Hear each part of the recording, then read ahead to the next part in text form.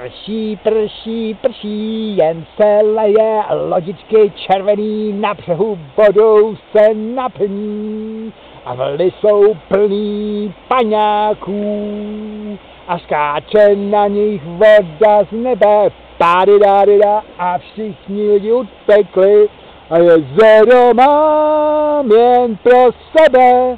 A krásně stromy pijou a ruce svoje do deště natahujou. A jak bylo horko v dubnu, bo, bo, bo, bo, bo, bo, tak já vám řeknu rád do deště si sednu a opřu se o ten krásný, silný topol, protože topol je dešti, pánové a dámy. To je krása, to je síla, to je vznešenost, to je vlhkost, to je hrdost, to je živlová, elektrizovaná vůně, takový červnový déšť. Da, da, da, da, takže paňáci skáčou.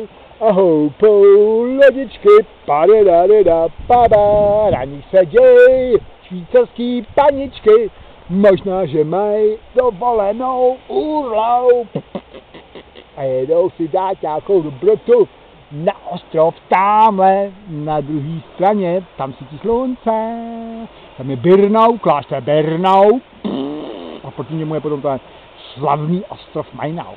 A tam jezdí s těmi lidima a dají si tam šlehačku a jahody a domácí kuchyni, takzvanou. To je ale podvod, já tam když si dělal, jak když jsem studoval, jsem tam dělal čišníka, tak to se všechno podvádělo, že jo, to všechno bylo z konzerv, tak pánové.